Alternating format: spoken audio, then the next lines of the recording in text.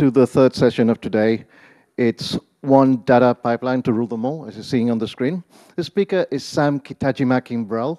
He's a software engineer with many opinions about distributed systems, data routing, and storage, currently leading Twilio's data platform team, building scalable and reusable data infrastructure to support a 400-person R&D organization, and obviously its many users.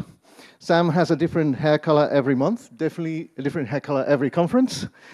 And he lives in the San Francisco Bay Area with his husband, Cameron, and the dogs, Basil and Moki. Please give a hand to Sam Kitajima-Kimbrel.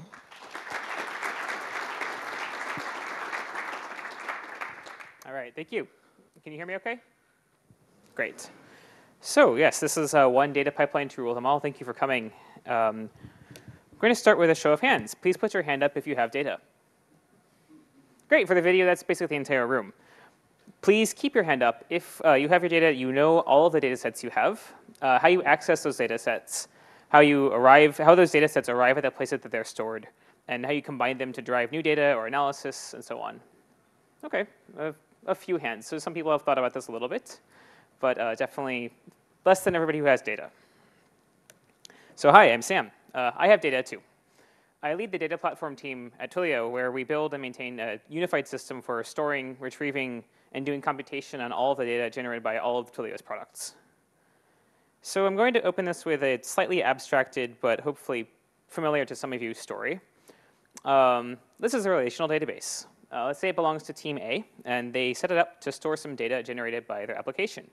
And it works really well until the end of the quarter comes and the PM wants to run some queries to see how much their product's usage grew over the last quarter. Um, since this was built as an OLTP database for single row transaction processing with low latency, these giant queries that are summing up you know, millions and billions of rows are slow. And the PM says, hey, could we put this data somewhere that's going to make this analysis faster for me so I can actually get my reports done and maybe not knock over production, production infrastructure at the same time. So now we have a data warehouse and it's copying data out of the application database. It works pretty well, right? Um, we picked Redshift or uh, something similar. Uh, it's a column store. It's really good at running those giant rollups, and it's easy enough to copy the data in with a cron job and a Python uh, ETL, which is extract, transform, load, uh, the pattern for how you do this, a script that somebody knocked out over an afternoon. So then team B comes along and says, oh, hey, you have a data warehouse. This looks really cool. Can we put some stuff in here? And so they, or you, uh, the newly appointed custodian of the data warehouse, welcome to your new job, write another cron job to run a slightly different Python script, point at a different database, and copy their data in. Okay, cool. So then somebody on your team uh, decides to change a piece of the schema because they need to support a new feature. But everybody forgets about the data warehouse until a week later when somebody on the accounting team, and by the way, when did you start using this, says, hey, why isn't the reporting warehouse updating? Well, crap. So somebody updates it and life goes on. Then team C comes along and says, hey, we've got this Cassandra cluster that we want to dump into the warehouse. Could you help us? And somebody else says, we want to do real-time spam detection on our data, but we want to run nightly training jobs for the model over all of history. Uh, can we have full text search? And so just like this, um, our data environment is not so simple anymore, right? We had this simple ETL flow that worked. Um, now we have a lot more pieces. Uh, we put a bunch of cron jobs in our warehouse, something that somebody rigged up to do stream processing, and we're running flat out just to keep up with schema evolutions and changes to the data model. And then finally, the accounting team comes back. And they say, why don't these two systems agree on how many API calls or page views or whatever it is that we sell anyway that we did last month? Because this is breaking our quarter close for the report. We can't state our earnings. Wow. So yeah, we're the train. We've crashed out the side of the building. Um, we're not in a very good state. So this obviously is a very abstracted story, but um, pretty much all of these situations have happened over the last seven years at Twilio. And uh, they're probably familiar to a lot of other people, other companies as well. So what happened? What went wrong? We had everything working, but it cost us a lot in developer time and machine time. So at Twilio, uh, we took a look back at all of our legacy data infrastructure and we found a couple of high-level problems with it. And so I'm going to go through those first. So first, we had architectural problems, including there are multiple sources of data and multiple destinations for it, right? Um, there was some code reuse, and each new type of system, but each new type of system required major work to add, uh, and even new things from systems we knew about had to be hand configured. Um, this wasn't quite the worst case, right? There was some reuse, but uh, the growth trend is clear. If you have a graph with n nodes in it, the connections between them grows as n squared. This is compounded by the fact that there is no single source of truth for schemas. So changing data types or adding columns was risky and requires manual work to verify that things are working correctly. You got the photo? And uh, finally, there was no way to guarantee that all the data was correct in all the places it was supposed to appear, right? So network failures, host failures, even programming errors can manifest as data being wrong in one place or another. So if that's what was wrong with our train and why we crashed at the side of the station, um, what does our replacement architecture want to look like, right? Where do we want to get to? So we took a look at what the giants of the industry, so LinkedIn, Netflix, uh, what they were doing. We looked at our capabilities as a development team and as a company and uh, came up with some guidelines to optimize our data architecture for developer productivity, for scalability, and for correctness. So first, uh, we decided that there should be one and only one way to publish data into the new platform from applications. A lot of our early headaches were brought on by inconsistencies in how we move data between systems and having to duplicate effort across these uh, systems when making changes. So we wanted to get rid of that. We wanted to have a single system, a single pathway to be the canonical pipeline for records to flow through, regardless of how many places they had to get stored in the end. On the flip side, given that we need to put the same data in multiple storage systems to support all the ways we want to use it, uh, we can't dictate a single method of getting data into those systems from our pipeline, but we did feel it was important to provide common libraries and tooling to share as much of that logic as possible.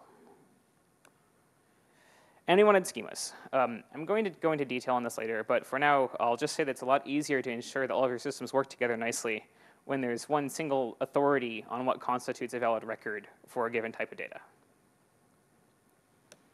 And finally, we wanted a way to make sure that every system that purported con to contain a given set of data had all the data, right? If a record is present and correct in one place, it should be the same everywhere else. And so since the title of the talk includes the words data pipeline, you might have guessed that we picked an event pipeline architecture. So from 1,000 meters up, it looks something like this. This is an, the classic event sourcing architecture. You model all your data as an ordered series of events in time. So for log structured data, things like web requests, ad clicks, and so on, uh, this is very natural. For data where records change over time, so configurations, um, anything that changes state, uh, you have to kind of think about it a little differently. You need to view your records as a sequence of deltas or changes to the data in order from which if you play them back into the same place, then reconstruct it, you can reconstruct the state of the record at any time. But they both are suited to this kind of architecture. Um, so we have some source of events, right? Let's call it a web server and say we're handling requests and we generate a log event so that every time somebody views a page. That server emits a record onto a system, a data bus, a pipeline, uh, whatever you want to call this, that stores all of the events in the order they were received as a first in, first out queue. This is important here. And every system that's interested in that type of event subscribes to that stream, that single authoritative stream of data, and consumes the events in the same order they were produced. So important to note that these don't have to be the same type of data, or system, sorry. Um, this could be a relational database suited for transaction processing. And on the top, we could have um, a column store for doing analytics. On the bottom, we could have you know, some archival to S3 or something um, in the middle tier, right? Um, but they all consume the data the same way, even if they do different things at the end. And just, uh, just as similarly, we can have multiple systems at the front of the queue, sending multiple distinct types of events on different topics or streams and set up each consuming system to only consume the event streams that they're interested in.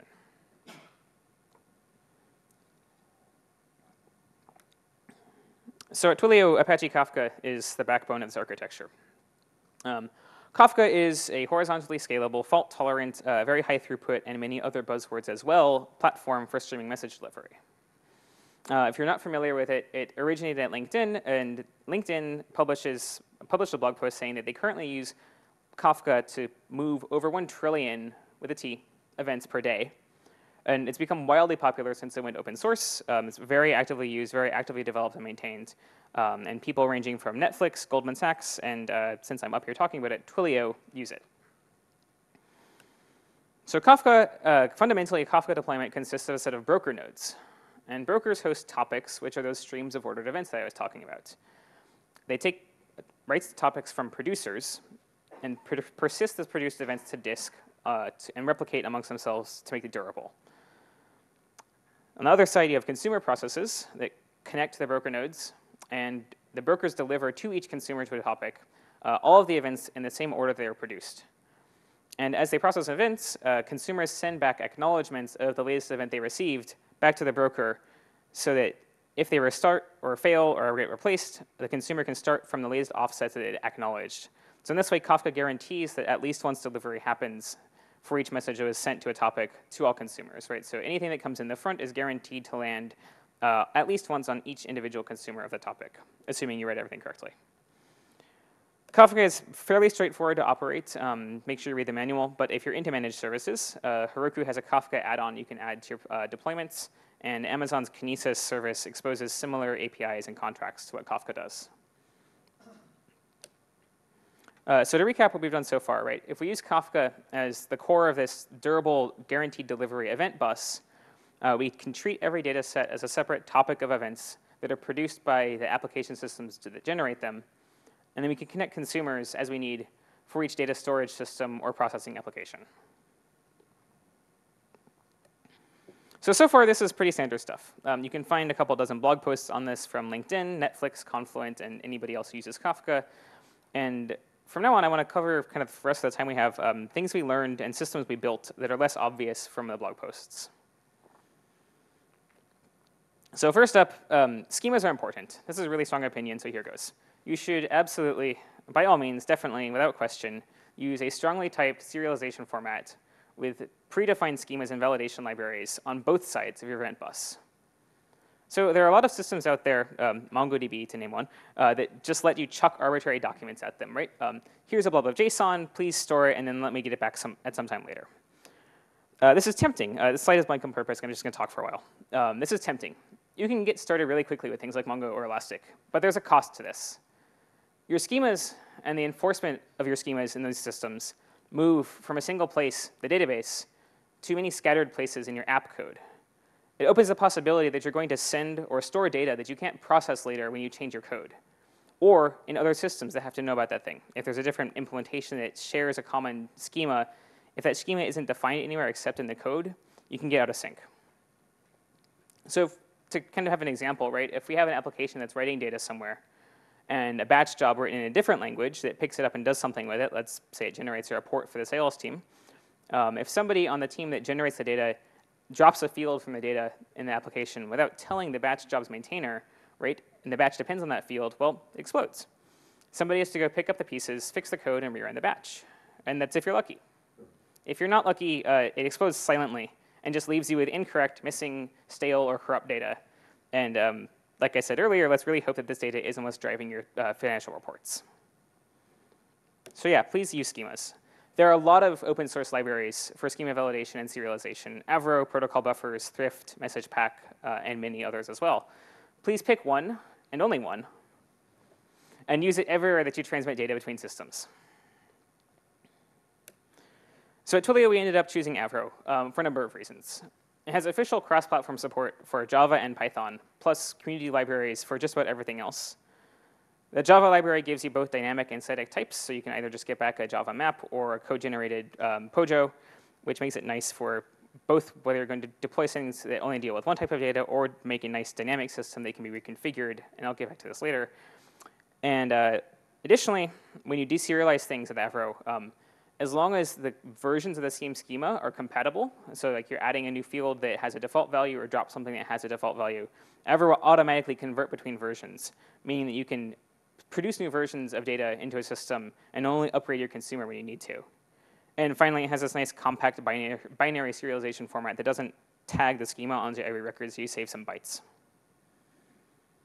More on schemas. I'm still not done here. Um, enforce your schemas at produce time. So don't send anything onto your Kafka topics or into your event bus that is not valid, without exception. So if you do this, you get this really strong guarantee. Every record that comes down a topic is going to be valid for the consumers to deserialize.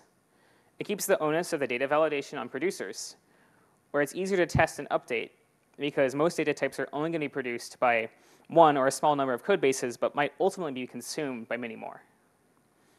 Within a single topic, only make backwards compatible changes to the schema so you get that nice uh, transparent across grading.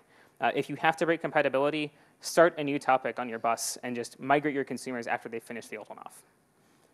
So if you use these rules and follow them, and you get this guarantee that the worst that can happen when a change gets missed by a consuming application is a delay in availability, right? You can always go back and reprocess. So we're going to use schemas. Now we have to know about them, right? So we need to know what schema is in a given topic. So given a Kafka topic name, uh, we want to find out what schema applies to the records in it and what versions of that schema are available. And because distributed systems are hard, as Andrew Godwin's talk pointed out yesterday, if you were here for that, um, in the face of network partitions and host failures, we can't be guaranteed that we're going to produce or consume a record exactly once. And what's more, even putting them in order is tricky because clocks are hard. Kafka only knows about the order in which records arrive at the broker. So if you have multiple hosts producing to a same topic, you're going to have to sort the ordering out at consume time on the other side. So to do that, we need to know a couple things. We need to know which fields in the record constitute a primary or unique key. And we need to know what logic we want to use to choose a winner or merge conflicting versions, and probably how to order things too. Um, quick tip here on the side, um, wall clocks are not to be trusted across multiple hosts because clock drift happens.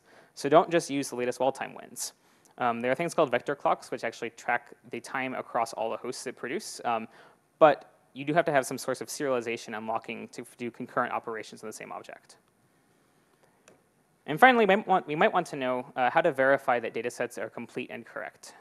So since we already said that in order to do deduplication and understand and correctly handle the data coming through, we need a unique key, we can reuse that, right? So a first pass at recon reconciliation between data, different systems is just do a count distinct, right? Count all the unique keys we've seen.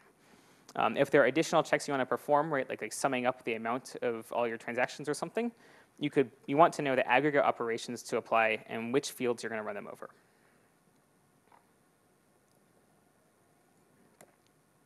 So, so far we've gone through uh, what we started off with at Twilio, what we disliked about the original systems, and what we wanted out of our new architecture. And then finally, the core abstractions that are involved in this Kafka-based event pipeline. Uh, I want to tell you now about the systems and libraries we built to augment our Kafka cluster and make it actually usable and um, useful to us to connect it to our data sources and sinks. So as I hinted at, uh, we have a metadata registry API. Storing the record schemas and all of the additional metadata about uniqueness, uh, ordering, and correctness in this registry lets us just access that information programmatically and use that from any system that's going to produce or consume records. So it's important to note that this schema registry service doesn't actually handle any records itself. It just stores the schemas for the records and the extra metadata for topics, validates that new versions of schemas that you register are compatible with the previous ones because you want version compatibility, and then serves that metadata back out to any system that needs it. So obviously we use it in two places. Um, before you produce a record to a topic, you want to make sure that it's the correct schema for that topic, so you go look, look it up. Uh, Kafka comes with producer and consumer implementations for a whole bunch of languages, but like Kafka itself, it just knows about, those just know about byte streams, right? Kafka brokers don't view records in a topic as anything other than binary blobs, and this is part of why it's so fast. It's just shifting bytes around. So we built a wrapper around these libraries to handle the serialization and validation. So our producer library, when you go to send something, accepts an Avro record object, validates that it conforms to the known schema for the topic you want to send it to, and then serializes correctly and uh, adds an extra byte on the front to signal the version, the version of the schema that we're using here. On the far side, in the consumer, our wrapper does the opposite, right? It says, I'm consuming the widgets topic, goes, looks it up, finds the schema document uh, for that version on the serialized record that it just pulled off the topic, and then deserializes back to whatever the application code on that side wants to work with. So Twilio is a very polyglot development environment. We run a lot of Python, a lot of Java and Scala, some PHP, and there's even a little bit of Ruby, Node, and Go scattered around. Our pipeline library is the official libraries we support for people who want to produce directly to Kafka, support Python and Java, but we decided against porting it to those four more languages because it would have been a lot of effort for diminishing returns. So we also already have very well-defined and supported standards inside of Twilio for internal REST APIs with JSON serialization. So we designed a simple service, uh, and it does exactly what it looks like here, to produce to Kafka topics in response to HTTP requests, right? So you just put at this system with a JSON blob with your data, and it validates, does the exact same work, right? It validates that this is the correct schema for this, and then puts it on topic for you. And so if you're not in Java or in Python, um, you can just chuck rec records at this API over HTTP and not have to worry about talking to Kafka. Okay, so that covers it for producing records. Um, I'm going to talk about what we do with them on the far side now. And this breaks down into roughly six types of systems. So first, we can archive things to inexpensive and scalable cold storage. Um, we use this archive data to power three more use cases, right? So we can put it in data warehouses to do analysis on the structured subsets that we know about ahead of time. We can run batch processing jobs over arbitrary large amounts of data with uh, on-demand com compute capacity. And we can do ad hoc analysis of archive data without having to load it into a warehouse. Then we have stream processing. Since Kafka has high throughput and low latency, uh, you can connect streaming applications directly as Kafka consumers to process records very close to real time. And finally, uh, you can connect transaction databases like MySQL or Elasticsearch to provide access to small amounts of recent history with very low end-to-end -end latency from produce to query time. So go through these in order. Um, I'll start with archival. So we call this TwilioFS, um, which is just a data lake, uh, which is a term that some data architects made up to describe what happens when you dump everything you collect into one place so you can extract chunks of it for further processing or analysis. And this looks like this. Uh, we use Amazon S3, and we have a system we call Copycat. Kafka, Kafka brokers, uh, most importantly, don't have infinite storage space because they use local disk, and therefore they only retain a fixed amount of time for each topic before they just delete data to make room for new data. So Copycat has one job, to copy, byte for byte, entire Kafka topics into Amazon S3. Uh, it's a Kafka Connect application, Connect is a framework that's distributed with Kafka. And it's designed for exactly this, of consuming from Kafka and writing it somewhere else, or reading from a source system and producing it to Kafka. It has this framework, basically, it just handles the operation of connecting to Kafka and consuming records and it just hands you records and you decide what you want to do with them. We use this for most of the sync systems that we write Kafka records to. Its output is organized by the topic and partition, then the date and the hour, and then the highest offset in the Kafka batch that was flushed into that, this, this output file before we've done anything else with this data, right, so Copycat has already given this really neat capability. Uh, the output is a perfect copy of the original Kafka topic in order, and so we can replay any subset of it back into Kafka, and it's like we've gone back in time. So it's really useful if you find three months down the line that you had a bug in your logic, and you want to go and reprocess those three months, right? You just go pick it back up out of S3 and replay it into Kafka. But it's just the first step in our data archive. Because Copycat's output is just the Kafka topic, it's not guaranteed to be unique or in order because distributed systems.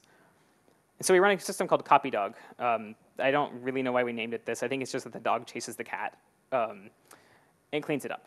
So CopyDog is a Spark job, and what it does is it takes the raw topic data that we get from Copycat in S3 and it organizes it for us. And this is the first place that that topic metadata I was talking about comes into play that deduplication and ordering configuration is configuration that drives CopyDog. So it uses its knowledge of how to sort and merge records to give us a verified, sorted, and deduplicated archive of all of our topic data in S3. It actually has two inputs. Uh, the latest input file from the last time we ran, so the raw records that are coming in from Copycat, from Kafka, and then the existing entire set of data.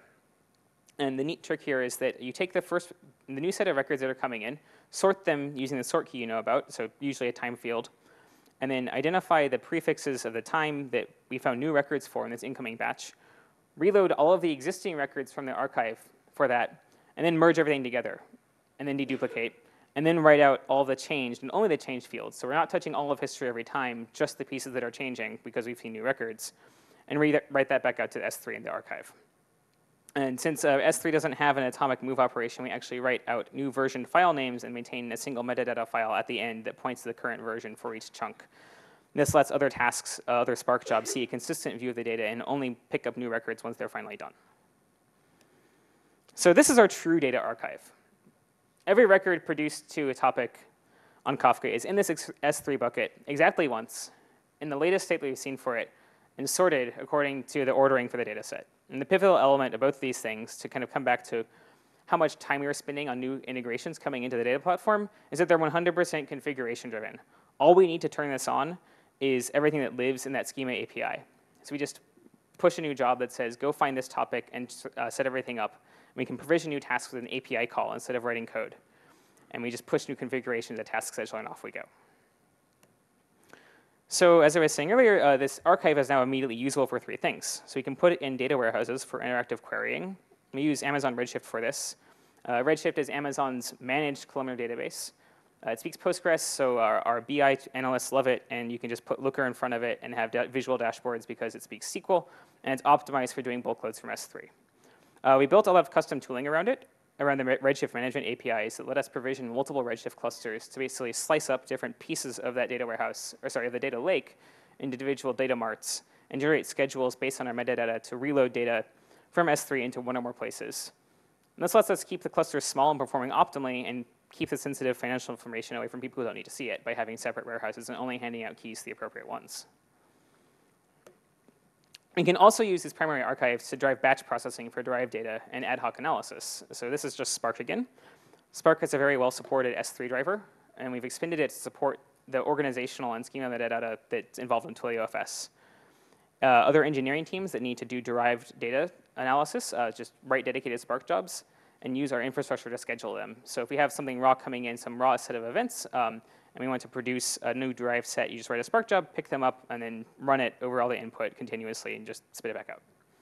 We also use Spark for ad hoc processing, so stuff that's not in the warehouse, but every once in a while somebody wants to go and query a whole huge amount of data, like three years worth of API logs, and it's expensive and slow to load that into a Redshift cluster just to run a few queries.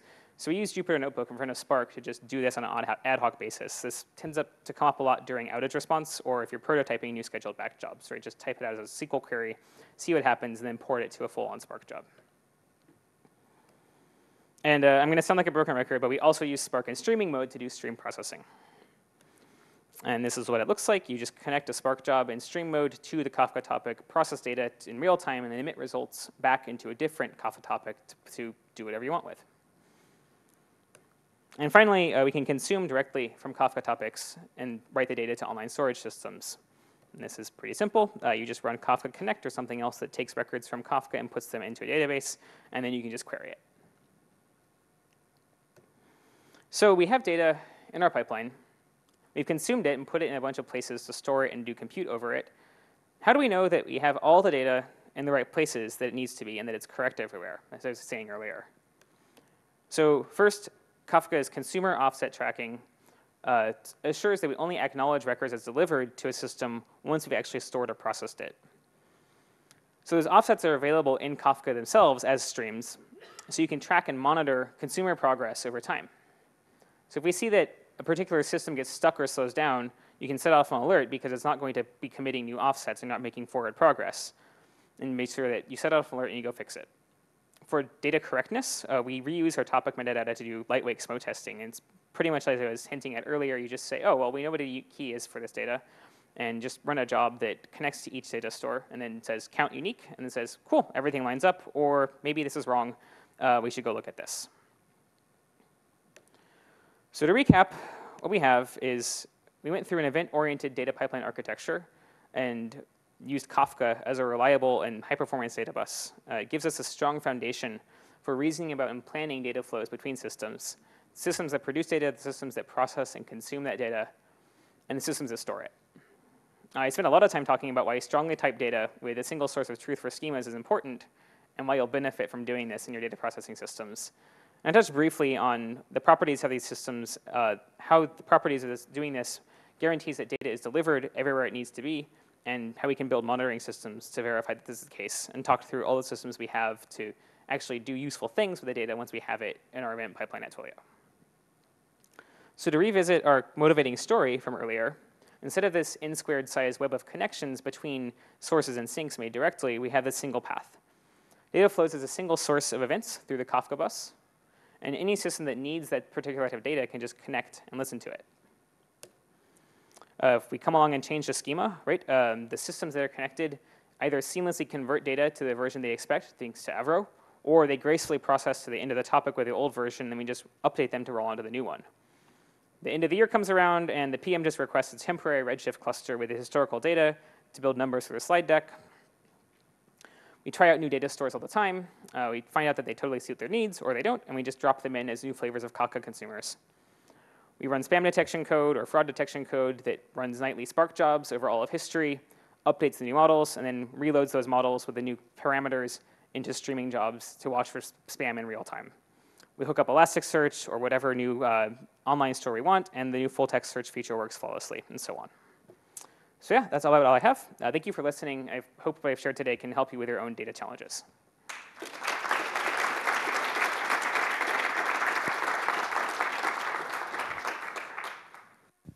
Thank you, Sam.